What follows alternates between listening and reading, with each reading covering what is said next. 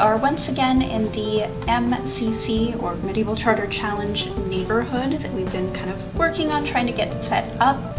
I have finally finished the next biome, which is the grasslands biome. Ignore the name of the neighborhood. Um, it's a few different biomes. Oh gosh, biomes is a hard word to say.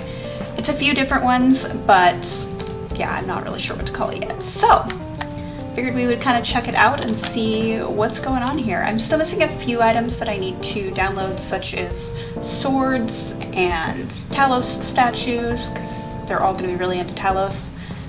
But for the most part, she done.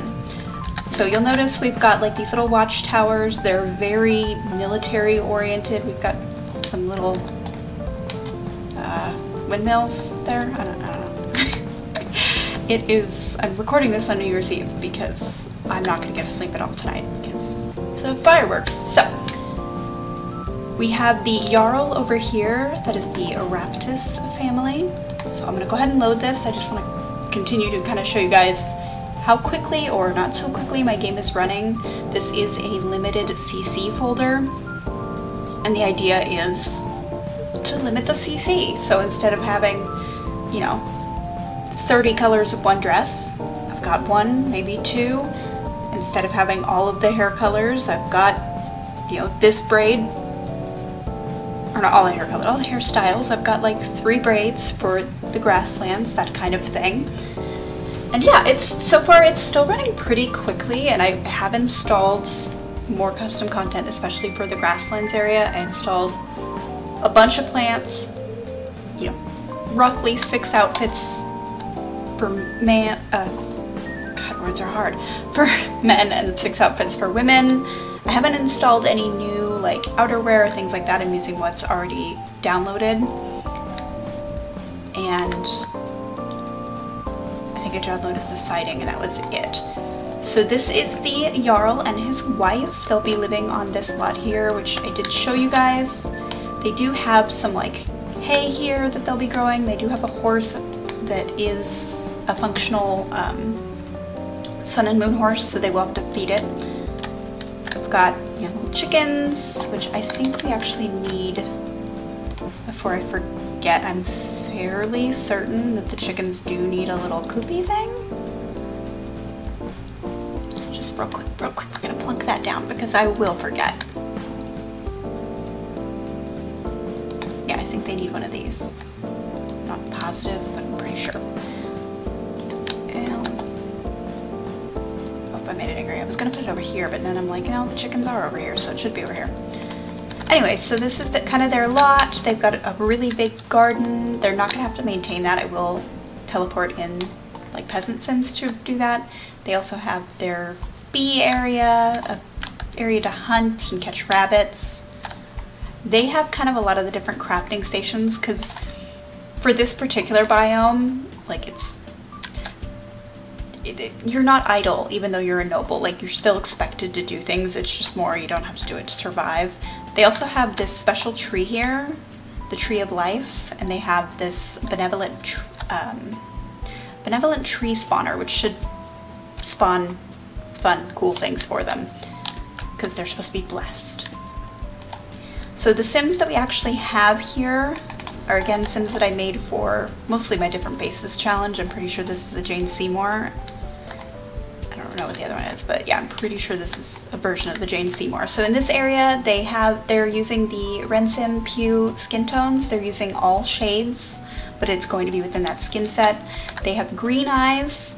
They are known to be freckled. I do have like a freckled skin box that I'm gonna like body overlay that I'm gonna use so that you know we're not just having freckled faces. Women have uh, braids. They're gonna have blonde hair. They also are known for having um, pointed ears. Not all of the Sims were given pointed ears, like she wasn't, but I did give some of them pointed ears. And yeah, so this is, uh, let's go with Marasak Raptus. She is a knowledge sim, so that should be interesting to have the Earl's wife be a knowledge sim. Oh, before I forget, green is the color for grasslands. I know I wasn't thinking about it, but it's too late. So yeah, she's knowledge sim, What does she want to do with for max out seven skills? Of course you do. And she's also a Capricorn, so she's very lazy. So we'll see if she actually does that. Uh, Raptus is her husband. I'm pretty sure he's an Anacleve sim. Yeah, he's an Anacleve sim. So he doesn't have as many freckles as his wife, but again, blonde hair, green eyes. I'm pretty sure I gave him pointed ears. The male sims kind of have chin length hair in this kind of biome. And as per usual, the Jarl and his wife are always going to wear this outfit. It just makes them really easy to identify. Same with the color coding. I just want it when I actually play this neighborhood to go, okay, that's a Jarl, that's a Jarl's wife, and then with the colors I can go, oh, they're from this area. It might not be as easy to tell what their class is, but you can still tell where they have come from. So he is a pleasure sim, he's also a Capricorn, and he wants to become a game designer. I might re-roll some of these with the custom lifetime ones I know I've installed, but we'll see. So yeah, that's their little lot here. They have a very decent sized house. It's that dark blue with the red on the top. Yeah. A little fancy, little fancy. I don't know why this makes me laugh when I, Eee! Also, I really hope my transcript thing is running. I'm trying to find different ways to do subtitles because typing them myself, even though I am a fast typer, I can't always understand what I'm saying. I'm not gonna lie. And I've had this discussion before, but it is very confronting to have to type the way that I speak because I didn't realize and now I'm very self-conscious about it. Anyways, so we're actually gonna do a bit of a departure. I think I did the yeoman next, but for this one, the peasants are actually very close by towards, you know, to the Jarl. Because again, defense, these are gonna be the, not the weakest links, but a little bit. You can see everybody has cattle. That's a big thing in this neighborhood. Everybody raises cattle for you know, the army. So either for food, for leather working, like it's just the thing you do. And so up first we have the Argyris family, which I'm kind of mad about this dress. I, I made this recolor, I made that recolor too. And it looked, I did the fix in Body Shop so it wouldn't look weird, but in game it does kind of look weird, so I don't know. I do know that these Sims kids are gonna have like the most cheekbony cheekbones to ever cheekbone, because these are both, I think that's an Anacleve Sim, and I don't remember which, that might be Jane Seymour, I can't remember, but yeah, they have cheekbones for days. So we have Khafra first, and their last name Argyris. Like I said, I did do that recolor. I'm pretty happy with how it turned out. It was just real simple. It was originally red, and I just recolored this part to green, left that red. Again, we got freckles. That's another common thing here. I'm pretty sure he also has pointed ears. And he has that uh, Keanu hair, which I really love, so I'm glad that I get to use and abuse it. And he's a family sim, which is great. It means he's gonna have lots of kids. He wants to raise 20 puppies or kittens. And he is also a Capricorn. Capricorn, I kept rolling that, I don't know why. His wife, which is, we're gonna go with Macaw? Macaw, also because that's real fun to say. She has green eyes, she's blinking, but it's fine. Uh, freckles, again, braided hair, pretty basic. She's a fortune sim. She wants to become city planner. Again, I'm probably gonna re-roll some of these, and she's a Virgo. So this is their farm here. All of the peasants are gonna do the same kinds of things. Maybe not all of them will do every single thing. Not all of them have hay, I know that, but for the most part, all of them have bees. All of them have a little garden to, to sustain themselves. They have chickens and they have cattle, and that's kind of, that's what they do. They, that and they also are expected to know archery, so they're all to have an archery stand. And they're also expected to know how to fight, so they've got one of these fighting guys here. Oh, and they catch rabbits. I think some of them might have gotten fox traps too, but I am going to have to test and make sure they can get to some of these. Otherwise, I'm going to be needing to place some walkthrough blocks. But this is their farm. You can see it's pretty small. Comparatively speaking, I think it's actually the smallest peasant farm that one might be smaller. But yeah, it's one of the smaller farms, just because, you know, they're a couple, they're just starting out, it didn't need to be giant anyways. I would call this a two bedroom, two bath, but. So that is the Argyris family. Let's go back. I love how fast this neighborhood loads though. Like it started to load a little bit slower because again, I'm adding more and more things to it, but it's, it's, it's not like my other folder, which takes, I want to say being generous, 35 to 40 minutes, sometimes a little bit longer. I've never actually timed it because usually I open it up and I go do something else. Nice. It loads so quickly. So let's go to the Floros family. This is our second set of peasants. I also recolored both of those. I didn't do the whole thing. A lot of these recolors that I did, because for the, for the men I decided on like tunics, and maybe they have pants, maybe they don't, and then for the women it was kind of renaissance style clothing, so like I found a set based on the movie Ever After. There was a lot of really good renaissance clothes. There was some like uh, Lucrezia Borgia clothes. I'm not entirely sure which ones I ended up using. I actually had to get rid of some because I had too many options. But as per usual, we're all in green. I'm really happy with the recolors for the most part. Like, they're not great, but like, they're okay. Like, I just recolored this dress part. I didn't, the banding was there, that white part was there, I just did the dress. Alright, so let's start with Gabriel is what we're gonna go with there. Gabriel. He's got kind of a sad bitch face. I know he is a Jane Seymour sim, gender swap to be male. Again, rinse and Pew skin. He doesn't have freckles, but he does have teeny tiny points in his ears. Just teeny tiny. So yeah, but yeah, that mouth was... On the female sim, it wasn't so bad, but on the male sim, it, it got kind of out of hand. He is a family sim, also has raised 20, 20 puppies or kittens. Like I said, I'm probably going to re-roll these, but I'm just going over it for fun. Virgo, I did recolor this tunic. I don't think it turned out terribly.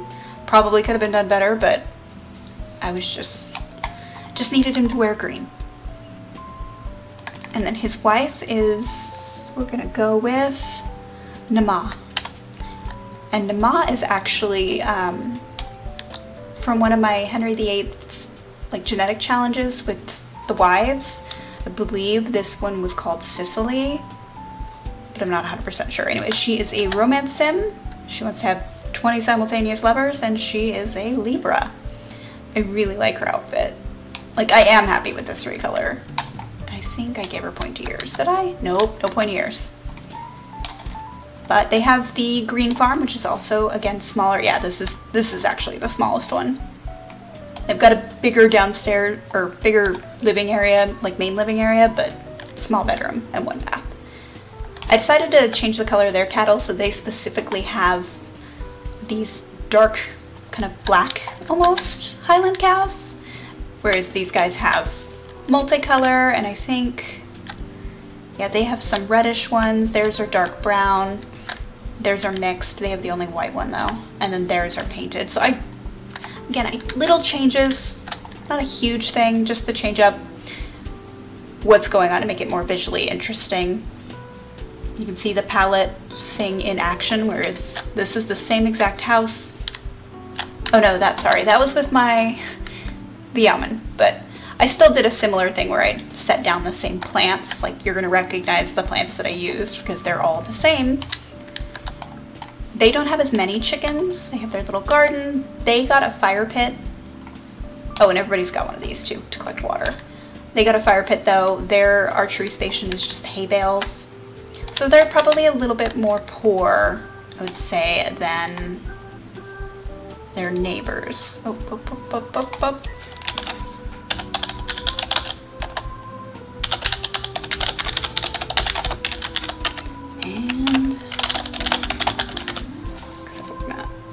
And that real quick. And then what is,